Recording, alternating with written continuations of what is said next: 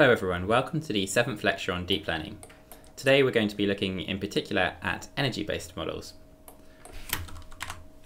So up until this point we've taken quite a statistical view on learning, like through say the eyes of Christopher Bishop or Ian Goodfellow. But with energy-based models we're going to look at learning through the lens of differentiable geometry. Yann LeCun, who's one of the forefathers of this field, very much likes to think this way and if you watch a lot of his talks, you'll see he likes to sort of wave his arms emphatically and yell at the audience in a French accent about the big mistake GANs make when they don't think of the energy landscape. So in this lecture, we're going to formally define some of the more geometric terms and try and raise a sort of new way of thinking through thinking of the geometry of learning. So we're going to start by formally defining manifolds, and then we're going to formally define energy-based models and see how pretty much most machine learning tasks can actually be thought of as an energy-based model. So just some examples, GANs in particular are just energy-based models if you think of them uh, as one, and even things like clustering algorithms, which perhaps you looked at last last year, can actually also be thought of as energy models. Uh, also, even even like classifiers or generative models can be viewed as an energy model if you look at it this way. So we're going to introduce Boltzmann machines by Geoffrey Hinton, which are really nice energy model, uh, and they're also universal function approximators. And then we're going to look at some of the concepts that really drive towards the state of the art.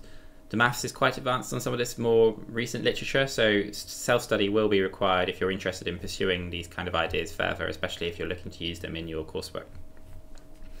But at the end of this lecture, you should have a pretty good grasp on the very state of the art of generative modeling, uh, and you should also have a more kind of geometry focused rather than a purely statistical focused perspective uh, and this will give you a way to actually imagine the learning problem. So often if you're doing research in this area, area um, you want to have some kind of way to visualize what's actually happening, and this lecture should help produce these kind of visualizations. So now we're going to start by how do we build this more geometric view of learning. And to do this, we're going to first introduce the definition of a manifold. So imagine I was giving this to a lecture with, you know, an actual lecture with lots of people in this room you can imagine a room full of people, a big big lecture theatre full of people. Now imagine uh, collecting a data set where we've got people's faces. So we've just gone around and taken a picture of everyone's face, and that's our data set. And then we're going to just train a classifier to say detect whether people are happy or sad or, or, or maybe there's some output from a neural network which is just like what what, what, what type of the face it is. Maybe it could have some features as well, such as uh, their gender, or it could have their age as well as things we're trying to have the neural network predict. So the input is faces, and the output is the uh, result of some classific classification or regression. So a very simple feed-forward neural network.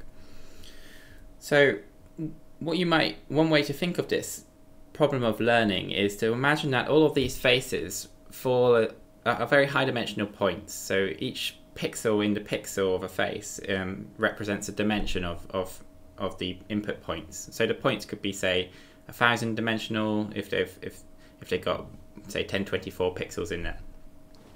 Um, so what we so you imagine you've got these very high dimensional points, and actually what you can do is you can think of these points as being points on some surface, some some like I don't know. I've got a piece of paper here. Um, you can sort of scramble it up and imagine the points. If I was to draw some dots on this piece of paper, just draw some blue dots on it.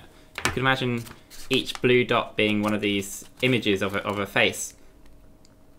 Um, so, but try and imagine this in like a higher dimensional space. So, so all of these faces or points of data uh, actually uh, belong to some some large surface. Um, this is what we're going to call the manifold, this surface. And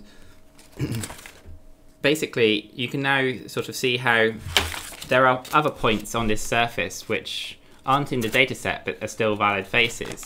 So th this surface represents the entire space of all faces. And and so now we can this this is kind of what a manifold is. It's it's like a, a, a surface containing where where individual points on that surface are, are samples from our dataset. And often what we want to do in learning is we want to kind of slowly unwrap or flatten this piece of paper into a into a simpler form, into a, a nice new piece of paper that we can understand and read, um, rather than having that crumpled up mess. So we want to transform the data, transform or warp and unwrap this surface into a a simpler surface which we can uh, just understand, like it could just directly contains the features in the x coordinates, for example. So that's a kind of conceptual view. Now let's look at a more mathematical view. So formally speaking, a manifold is a topological space that locally resembles Euclidean space. So formally, an n-dimensional manifold has a neighborhood that is homeomorphic uh, to an n-dimensional Euclidean space. So basically you can split up an n-dimensional manifold into patches, where each patch locally resembles a Euclidean space. So 1D manifolds include lines and circles. So maybe I'll just flick to my notes here and we can have a look.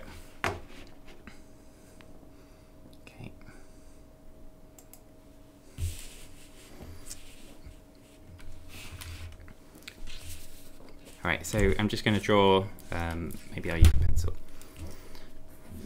This is, this is an example of a one-dimensional manifold, and locally, if we split this up into patches, so if we take a, a, a local region of this one-dimensional manifold, it locally looks like a Euclidean one space. So here's another example, a circle. We can split a circle up into patches, and everywhere we take a patch of it locally, that patch, if we sort of unwrap it, will look like a Euclidean one space. So an example of something which isn't a um, one-dimensional manifold um, might be, say, a figure of eight. So if this is our, if this is a shape, then this is not a one-dimensional, um, a 1D manifold, because if we look at the intersection here, if, if, we zoom in and take the limit of zooming in on that that that uh, that crossover part there, it, it never looks like a, a, single line. There's this intersecting region, so so this doesn't look like uh, a Euclidean one space. But if I had like a, a rubber band and um, got one here. Okay, it's split. Um, but if I if I put this figure of eight in three-dimensional space, uh, I'll try and twist it around. Um, this actually could be a one-dimensional manifold embedded in three dimensions because locally, wherever you look on this rubber band, it will actually look like a line because there's not an intersection because there's a gap between the, these crossover points.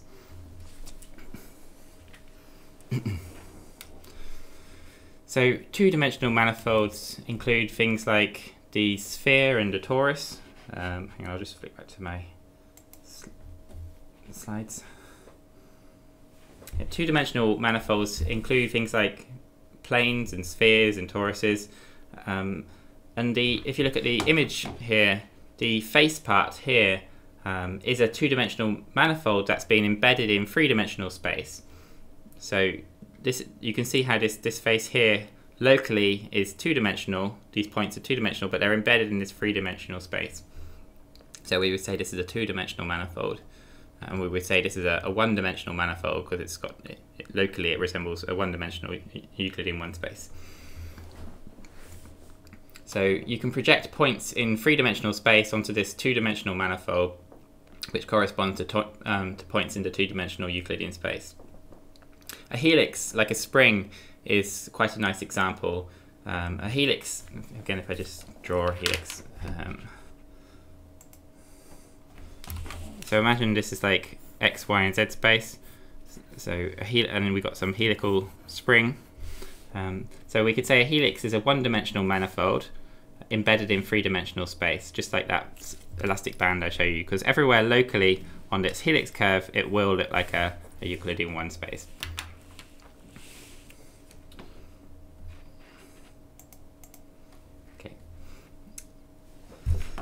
So you get different hierarchies and types of manifold. You get topological manifolds, and on, within this you can describe continuous functions. Um, and then you have differentiable manifolds, where on, on these types of manifold you can describe differentiable functions. And then you have Riemannian manifolds, um, and these have an inner product defined on their tangent space, so you can describe lengths and depths and angles and volumes. Um, so it's also a different, it's also differentiable and smooth. Uh, you also get statistical manifolds, which are Riemannian manifolds which describe the space of probability distributions.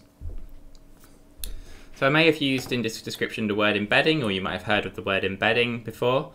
Um, but if we have some function phi uh, that maps from a manifold M to a new manifold N in an injective way that preserves its structure, we can call that function an embedding. And typically for differentiable manifolds, uh, the embedding is also differentiable. So the example we gave at the beginning, where you had some encoder, um, which started with some manifold of faces in some high dimensional points, and then we also had some other lower dimensional manifold for the outputs. Um, we would say that this is actually a nice example of an embedding function. So it takes as input that, that manifold of images, M, in some, some high dimensional space, and then it, it warps that space in a, in a nice differentiable way to output points on some new manifold N. So basically manifolds allow us to imagine the geometry of the whole space of inputs. We sort of zoom out from looking at how individual parts are transformed to thinking about uh, all the inputs, the entire space of possible inputs, the entire, entire space of possible outputs. Okay, so now let's move on to energy models. Energy, energy models are not really a new idea. They're really just any function that is happy when you give it actual data, um, but it's not happy when you give it as input something which doesn't look like real data. So when you input x, or x is real data sampled from the data set, uh, then the model tries to output a zero, uh, which we say is good. We say outputting a zero is a good thing. But when you try to give it something that doesn't look like data, it should output a value greater than zero. And we say that's a bad thing. And typically the the greater than zero, or the higher the value it is, then the, the less likely it is, the less it looks like real data. And pretty much every machine learning algorithm can actually be thought of this way or defined this way. So it's a very generic and encompassing term. So if I just switch down to my notes again.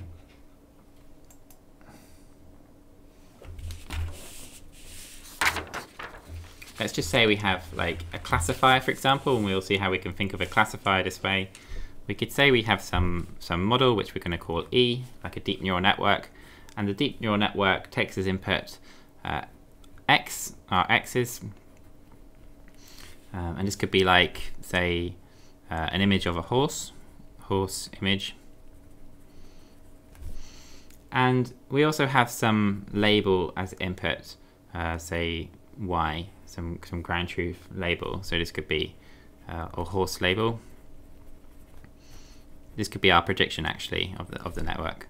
Um, and we basically want the loss or the uh, these two things to match. We want uh, the output of the model to be zero. So this is basically what the loss function, including a neural network and all of its parameters does. The loss is high when your predicted label doesn't match the correct label. So if this was a, a dog label and this was a horse image, then you would want the loss to be a high value, greater than zero. So normally what would you do in this case?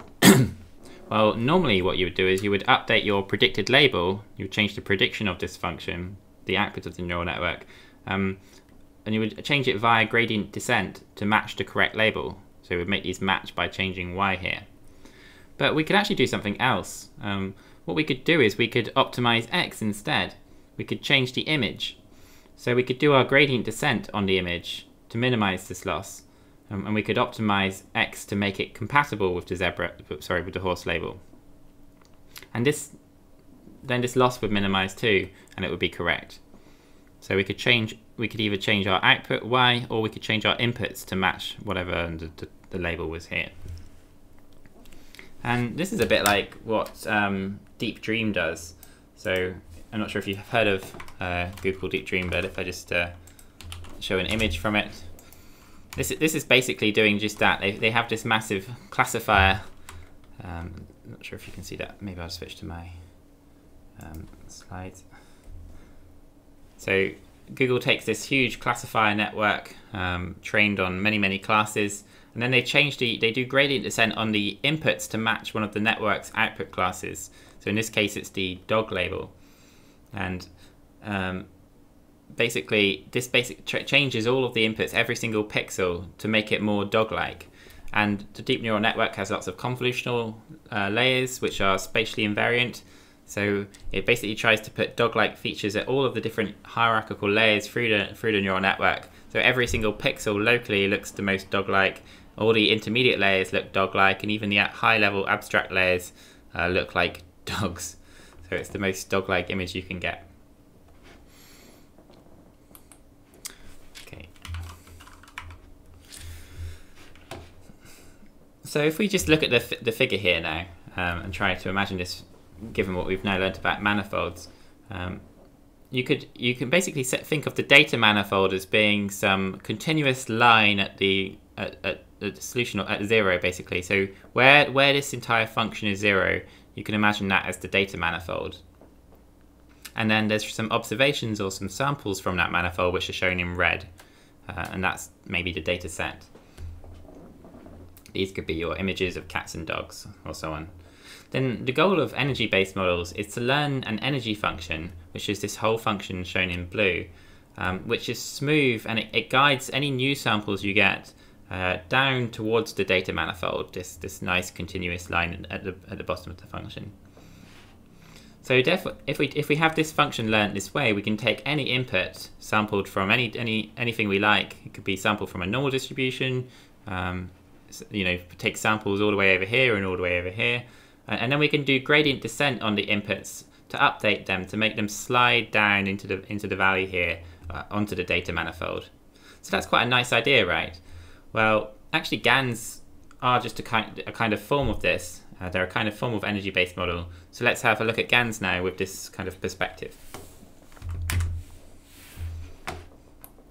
So as we said, GANs are also energy models, Specifically, the discriminator is an energy model.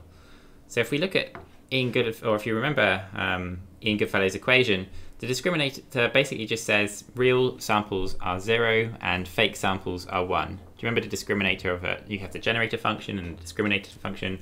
The discriminator just basically says where it's real, we set that to one of the values. We're just going to call that value zero for now. Where it's fake, we're going to say it's everything else. So it tries to push the values of the real samples down and it tries to pull the energy up for up to one for any kind of shape samples, for any other kind of type of samples from the generator. And this results in a very kind of steep, not a very smooth function, a very steep energy landscape where it's basically one everywhere that the generator tries to estimate during training, um, except for the very data manifold here where it's zero. So what does the generator do? Well, given initial points sampled from a normal distribution, um, it basically points that cover all over the energy landscape. The generator tries to learn an embedding function that transforms these points such as they fall into these valley regions here. So the generator constantly tries to estimate where these valley regions are and put points in it. Maybe it gets some of those wrong, but it gets most of them in the valley regions here. And then the discriminator tries to um, um, take the real samples and push them further in and push all of the generated points up to one again. Does this in a single nonlinear sampling step, so it's, it's very efficient to do. It's not like you need to do lots of gradient descent steps on this. The generator just learns to, to try and find this valley region and put them put the point straight into it. Um, as and as we mentioned previously, instead of using a generator though, what we could also do is, is start with our points somewhere on this energy landscape and we could try to do gradient descent on them to try and work out where, where these valley regions were. Uh, and, and, so long as the energy landscape is smooth, like like this, um, that should that approach should work very well. And while this sounds very nice in theory, in practice, people find, in the case of GANs, that the generated points end up creating like adversarial examples for the discriminator. Um, so if you try and just do it naively or try and just do gradient descent, um, you get these kind of crazy examples which don't really end up looking like um, data points. They look more like deep those deep dream examples, or they just they just start to look quite noisy. They don't look like real data. They just fool the discriminator.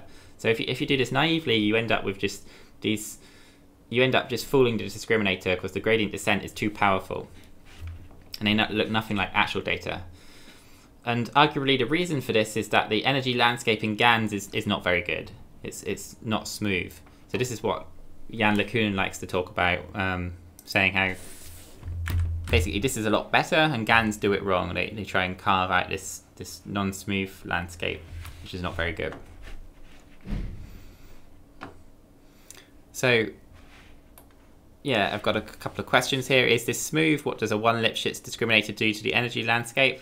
Um, you can remember that one Lipschitz constraint which tries to make the landscape also look like a uh, a distance function, so it tries to basically regularize this to look smooth.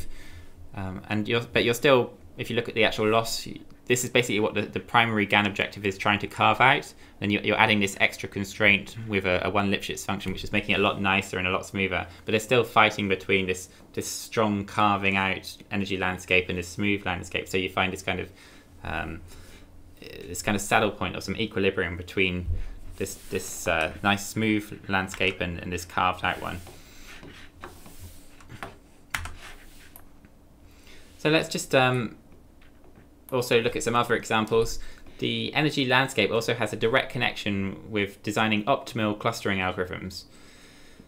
So the definition of a clustering algorithm, or, or, rather just a cluster, is that it's the connected component of a level set of the underlying probability density function over our data observations. Now that's probably quite a lot to take in, so let's just break it down so it, makes a bit more sense. So it's the connected component. So I'm assuming most of you have done some kind of image processing before, where maybe you've done some binary image morphology, where you have these binary images and you extract the connected components from them. So if you've got lots of like binary images of cells or cancer cells, then the connected components are where all of the white pixels are locally connected or adjacently connected, um, forming an individual connected component just for every one cell. So you'd have, with, with an image of 10 cancer cells, you would have 10 connected components with white pixels corresponding to each cancer cell. So it's a cluster is a connected component of a level set. Now, what's a level set? Well, imagine again you've got like an image, uh, maybe a grayscale image, and you threshold that image at different levels. So you just select all the pixel values which are greater than, say, 0.9, then you select all of the pixel, the grayscale pixel values which are greater than 0.8, they're greater than 0.7. You're going to basically get all of these different uh, thresholded regions segmented from that image, uh, and they're, they're your level sets. That's your level set. Um, so it's just thresholding the image at different levels. So a cluster is a connected component. It's one of these, if, if, if these are our, our level sets, then it's one of these connected components. So here might be one connected component, here might be another connected component. Of the unknown probability, this probability density function, so this is the, the probability density function we're trying to learn over our observations. This is the, the generative model, or if you like, this is the entire energy landscape that we're trying to compute. So if you can compute all of that, you can actually design an optimal clustering, uh, an optimal algorithm an optimal clustering algorithm. But the problem is that defining the energy landscape and computing the unknown PDF for the data is very expensive. So it's a nice video of this here. I'm just going to briefly play it, um, which if I just switch over this. Okay. We can presume that there's some underlying probability density function for the distribution that we're sampling from. So here I've drawn that as a heat map over the data, and we can see samples are less likely to be drawn from some areas. I can convert that to level sets, contours essentially, uh, which I can draw. I can pick out some particular level sets and ask what the connected parts are. And that's easy enough to see in this case. And I can call those my clusters. So we can put all that together and just watch it go. We get our probability density function, we take our level sets, we pick out some particular level sets, and we call those our clusters, and we're done. So, is that process a clustering algorithm? Because to be honest, those look pretty good to me. So the answer is no, because we don't know the probability density function. Which level sets do we choose? Well, I managed to do that by knowing the answer in advance and carefully choosing them by hand, so I cheated. Uh, and computationally, that's ridiculously expensive to do. You just can't compute all of that.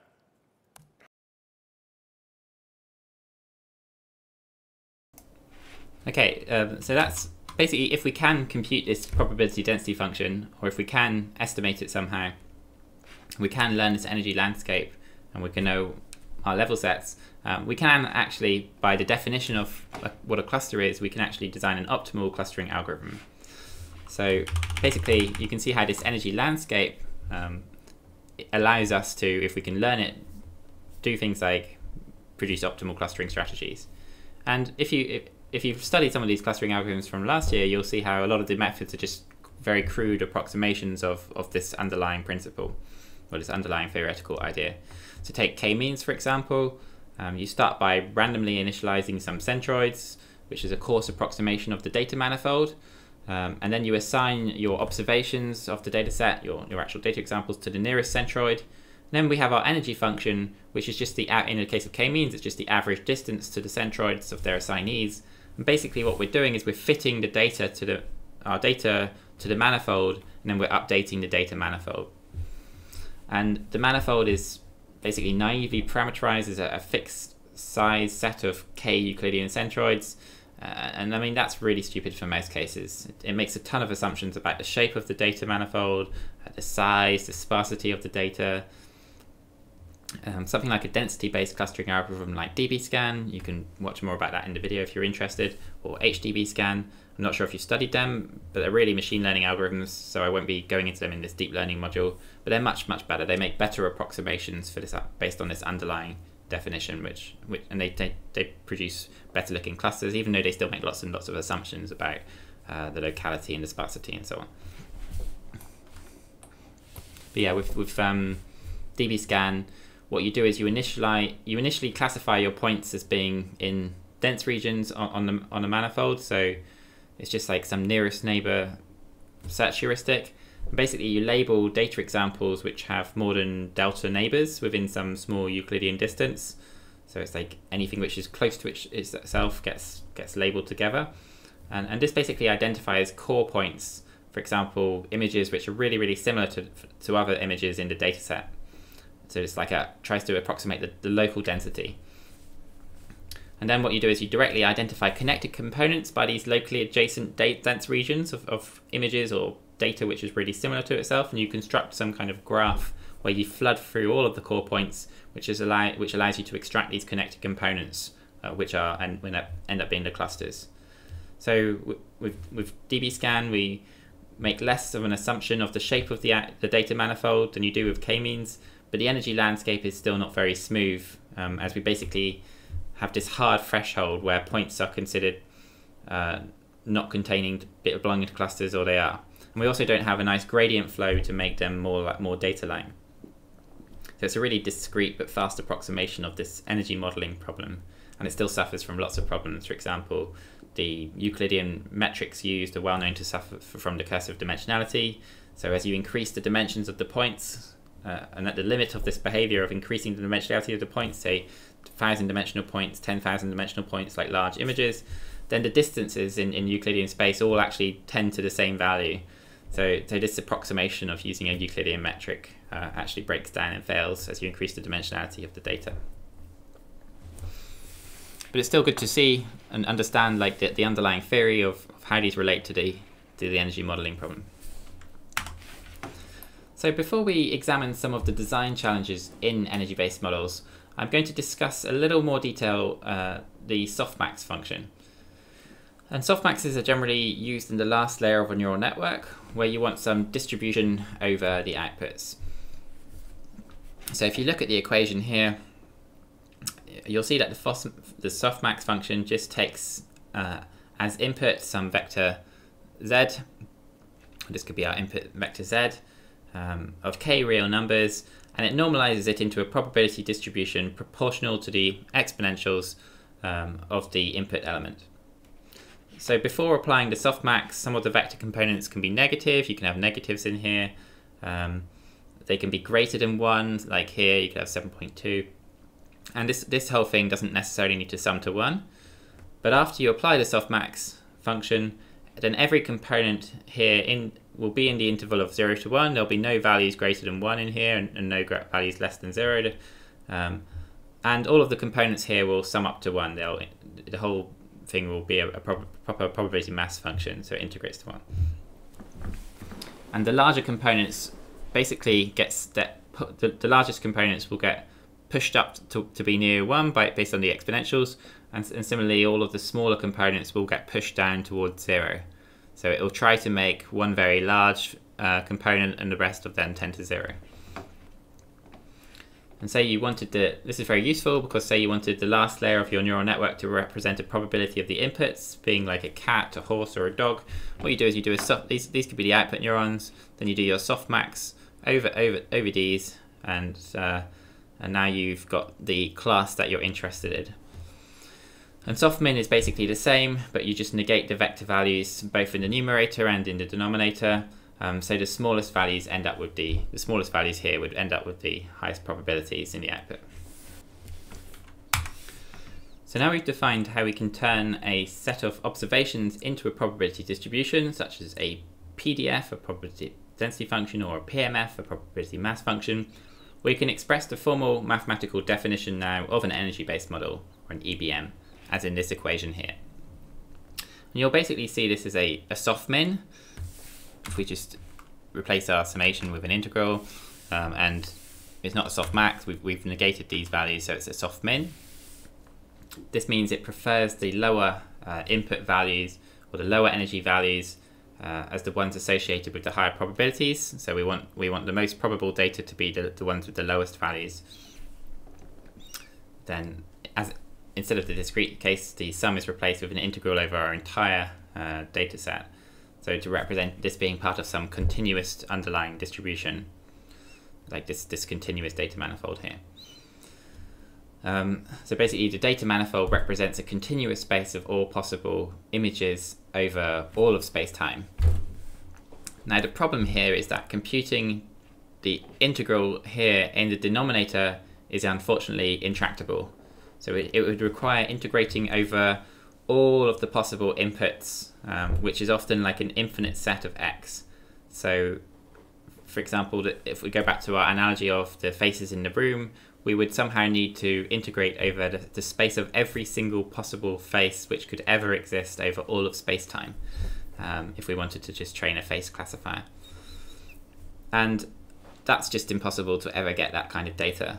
Um, so it's, it's is this infinite set and, and, we need to do so we need to do some kind of approximation here or we need to estimate um, and, and this is really the, the study of energy models or, or the big problem here is this, this denominator. It's, it's really easy to push real samples down.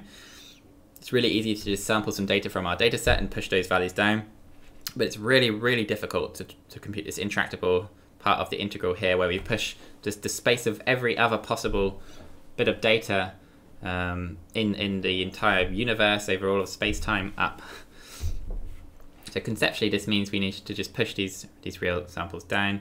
Uh, this is really easy, but we need to push everything else up, and this is the, the tough part, as the space of all other non-data is very, very, very large and, and much harder to approximate. So in general, there are these kind of contrastive approaches which drive real samples down, and then they approximate the intractable part by some kind of iterative process to sample the model. So we iteratively take samples from our generative model, and then and then uh, there are these kind of we try to push those ones up, uh, and then there are these kind of score score matching based approaches which address this intractable part by some divergence measure between the model score and the data score. Okay. So since the denominator in the previous slide is intractable for most models, um, it's, it's typical to use a kind of contrastive divergence in which the energy values of the data samples are pushed down while samples from the energy distribution are, are actually pushed up. So more formally, the gradient of the negative log likelihood loss, so taking a sample from our model, from sorry, taking a sample from our data set, we compute the negative log likelihood, um, it has this property as shown in the equation here. So reading this equation, it, it just says that the, um, the gradient of the loss with respect to the parameters of the model, theta, is the expected value of the energy gradient when pulling a real sample from our data set, and, and this value should increase. Um, and also the expected value of the uh, energy gradient when sampling the model. So this is a, a sample from our model now, not from the data set, from our model. Um, this should decrease, hence the, the negative here. And sampling from the joint distribution of the model typically requires some iterative or sequential sampling process where commonly we define a Markov chain over a sequential over a set of sequential states and we perform lots and lots of update steps. So this is like where we fall down the, the energy landscape. Um, and we iteratively update the Markov chain based on the transition probability from a state to another state, where each state of the Markov chain is obtained by sampling the underlying probability distribution. And two popular iterative algorithms for doing this are the uh, Metropolis algorithm and the Gibbs sampling algorithm, which you'll see the details of that in any papers that do this. So I'll, I'll show a couple of, well, I'll show a Colab example of doing this in a couple of slides later to hopefully make this a little bit clearer. Okay, so Boltzmann machines, also called stochastic Hopfield networks with hidden units, are one of the earliest neural networks for modeling binary data. And these are energy-based models which just have visible units, V1 and V2 here, uh, and hidden units. So normally you have visible units, hidden units, and then output layers, but, but Boltzmann machines don't have the output layers, they just have the visible units and the hidden units. So there's no output layers like you get with a feed-forward neural, neural network, like in the discriminator where you've got that output neuron. So instead, the energy is defined globally over the entire network here. And for the actual energy function used, you can refer to Geoffrey Hinton's paper, which is referenced up here. So looking at the first equation here, you'll see you can see how the probabilities are modeled over the inputs. And the maths is very similar to the softmin or the negated softmax. So it's just a softmax, it's similar to a softmax, but you've got these negated values here and some extra coefficients. Uh, and Boltzmann machines are, typically trained via the negative log, log, likelihood through contrastive divergence, as shown in the second equation, um, which shows that we differentiate the log probabilities with respect to the weight matrices. However, there's a big problem with this, which is that the exact computation of the expectations take an exponential amount of time in the number of hidden units. So as you start to have more and more hidden units, then you get this crazy increase in time and it just becomes uh, impractical for, for everything but very, very tiny problems. And even worse than that, um, several people have observed that for the contrastive divergence to perform well, you need kind of exact samples from these hidden units here. Uh, and uh, the exact samples from the hidden units conditional on some values are required. So basically, it also makes these Boltzmann machines very impractical unless you can get really, really high quality data out of it. So restricted Boltzmann machines are the same as Boltzmann machines, but with a restricted graphical structure, so that it's bipartite. And this means that the visible uh, hidden units, conditional on the hidden units, become independent, which makes training these much more straightforward in practice, because you've got this um, independence, so you can just sample much more easily. You don't need to break it down. And uh, training works by trying to maximize the likelihood over uh, your training data set which like before is defined as the exponential of your negated energy. So we're trying to maximize this energy.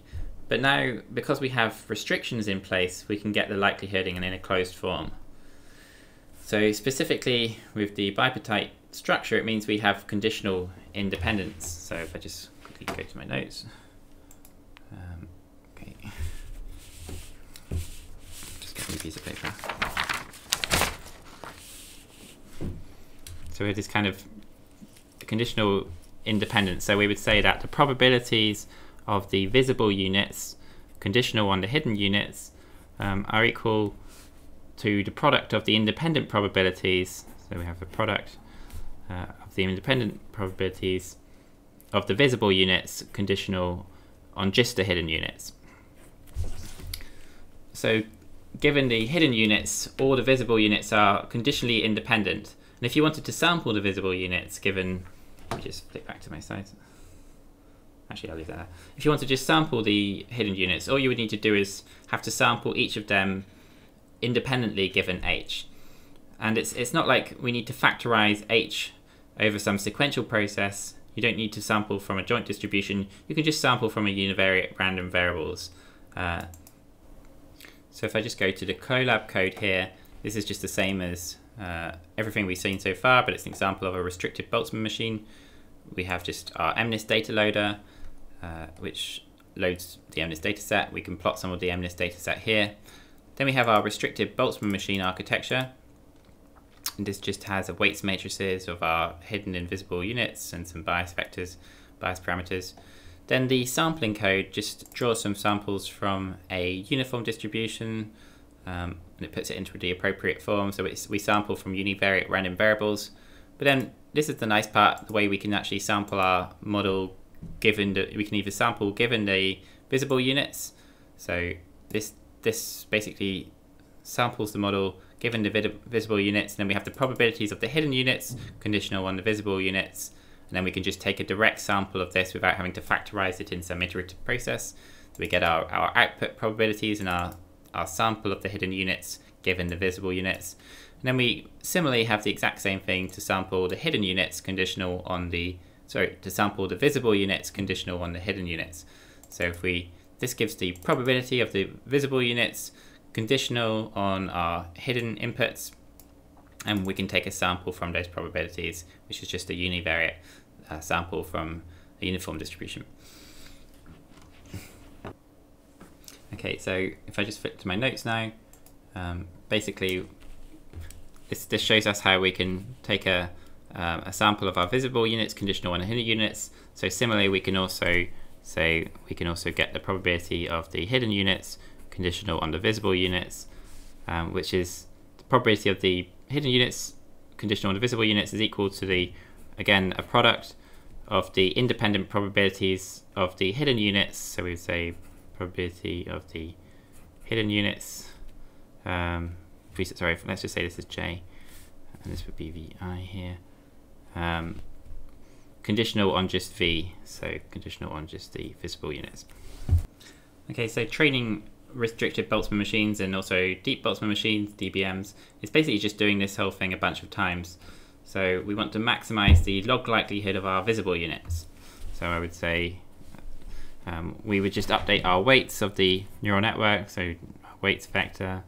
Um, we would move our weights a little bit in the negative direction of the gradient. So move our update our weights from our previous weights a little bit by say alpha that's meant to be an alpha, sorry. t minus 1. Um, a little bit in the negative gradient, so we'd have uh, Jacobian of the log likelihood with respect to our weights. So that would be respect to our weights vector. So how do we compute this log likelihood with respect to our weights? Um, so we would say the log likelihood p of our visibles with respect to our weights. Try and make that nice and bold. Um, and that's just equal, or you should say the derivative of the log likelihood with respect to our parameters w is the sum of two expectations. So um, basically we would have two expectations. The first one would be uh, is with respect to the distribution of the hidden units. So we would say uh, VI and HJ is with respect to the hidden units, uh, conditional on the visible units, and then we would minus, uh, uh we've just seen this conditionally independent, and it's, it's, tri it's trivial, and there's a closed form to compute this with like two lines of PyTorch, I should say. Uh, I'll just show you in a sec. The second distribution um, is much more troubling, but basically it's, it's H, J. This is our hidden units, but we need we, it's much more troubling because we need actually the joint distribution here um, of the of the hidden units and and and the visible units together, and we don't really know this joint distribution here. We we don't know this, so we have to approximate it, and we, we need to use like a Monte Carlo Markov chain to do so, approximating the max likelihood algorithm. So the Mon Markov chain Monte Carlo algorithm iterates k times, which converges to disjoint distributions, so we need to basically break this part up um, in training, and at each iteration it samples from uh, v given h, and then it also samples from h given v, and in practice, we, we often just kind of iteratively apply this to, to, to compute this. So we need to iterate, iterate to get this joint distribution here. So if we just look at the Colab code to where this is done,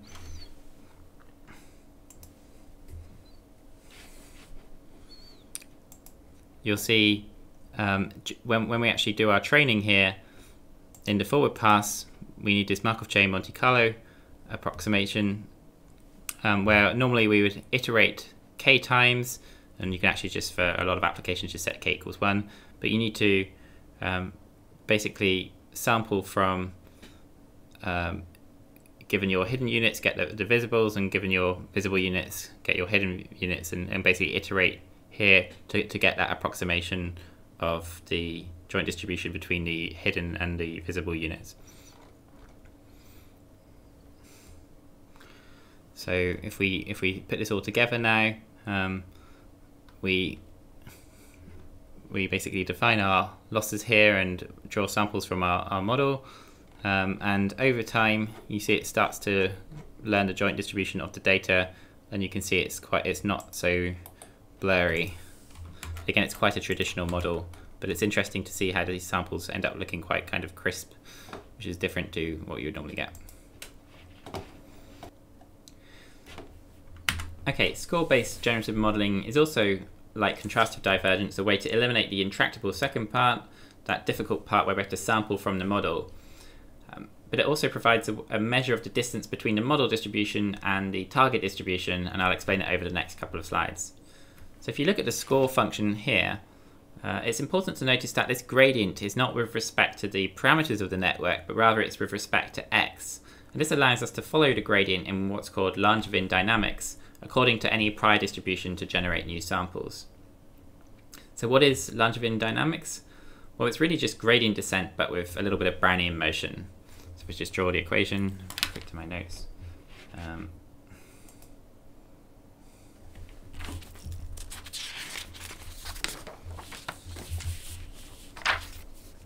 basically we have a stochastic differentiable equation or an SDE. So dxt equals uh, basically we have um, we go down the gradient, this delta delta u, uh, delta u of xt. Sorry, that's running out of dt, and then we add a little bit of uh, a little bit of Brownian motion or a little bit of random sort of noise. So this is two uh, dbt. Um, it's just a little bit of random noise. It's a little bit of Brownian motion. And if you put this together with our uh, Monte Carlo approach, we now have a, a, really nice way to generate to, to generate uh, samples from our model in this kind of iterative process.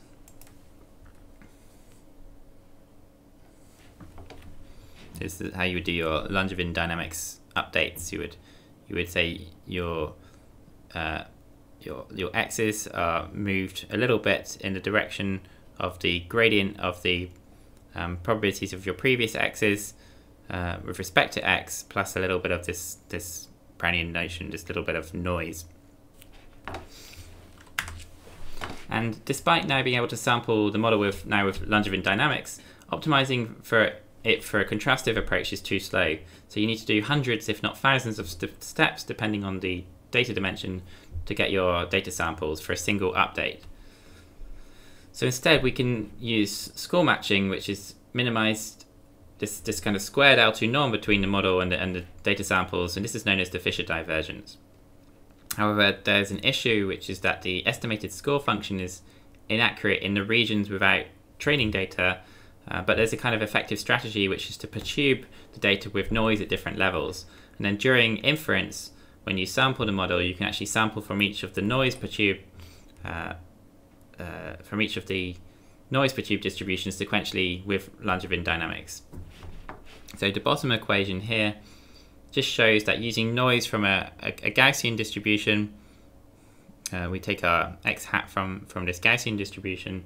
Uh, in, practice, you, you need to do it for lots of noise level. So this is all implemented normally using like a, a shaped architecture where the noise level is annealed during training to capture many, many different levels of noise. And I appreciate this is quite an advanced last couple of slides, but I really wanted to just briefly cover it as this is actually the very state of the art right now uh, in unsupervised generative models. So, so this kind of approach where we um, denoise the, the, the data um, allows you to generate these amazing quality samples at the end. And you, you don't really get much of the effect of mode collapse, but it does really require, I think, a bit of self-study to to uh, understand and comprehend his technique because it, you know, it's like a, I would say it's probably about a, a second year PhD level approach uh, rather than just being able to drive straight in in this kind of introductory talk. Um, course, but I, I, I do want to mention it. So if you if you are really interested in this, how you can get these really really high quality samples, I would recommend slowly reading the paper and using maybe the Feynman technique to learn. Um, if you're not familiar with the Feynman technique, it's where if there's something you're not quite um, sure about, so if, if in this case, I wouldn't expect many of you to really have the idea of Langevin dynamics concrete in your head. So what you can do is you can write down Langevin dynamics on a piece of paper. Then every time you encounter a, as you like read Wikipedia and watch YouTube videos about Langevin dynamics, every time you hear another term that you don't understand, maybe some Gibbs sampling, for example, and you don't know what Gibbs sampling is, then just create a new piece of paper with Gibbs sampling at the top and, and then research Gibbs sampling. And um, this helps you to sort of basically, when you research Gibbs sampling, you encounter more terms you don't understand. If you can't explain those terms simply to yourself, like you're explaining it to a child, then just create a new piece of paper with whatever it is you're you're stuck on and try and explain that. This will this will basically build a hierarchy uh, which identifies the gaps in your knowledge, and it's, it's a useful technique to, to learn advanced techniques like like this. so, if you're interested in this, um, it's probably a nice area to, to spend some extra study. This is really the very very state of the art right now, and these these papers have just come out in some of the newest conferences in machine learning. Um, if you there's a there's a nice sort of brief overview on this. Uh, if you, there's a YouTube video called on Langevin dynamics in machine learning, and this is by Michael uh, Jordan, who's one of the leading experts in this area. Uh, and the really interesting stuff in this video, if you find a video which is called on Langevin dynamics in machine learning, it occurs just after the first 52 minutes of the talk. All right, so that uh, I think concludes most of the content of this lecture. Again, I appreciate that the the maths and the concepts towards the end are very advanced.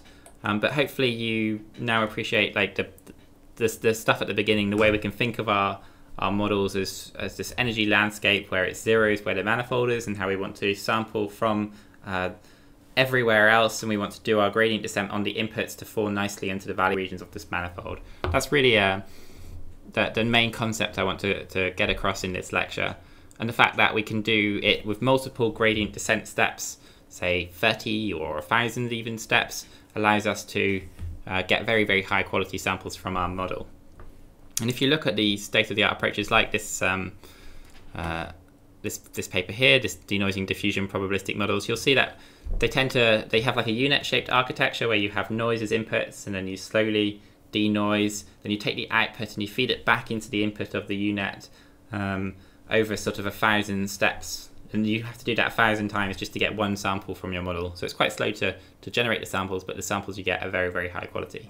And the real state of the art now has, has got that a thousand steps down to sort of 30 steps or so. These are very, very new papers which have just come out in the last couple of weeks. So this is really like at the pinnacle of, of state of the art in generative models. All right, so that concludes this lecture. I hope you have a good week.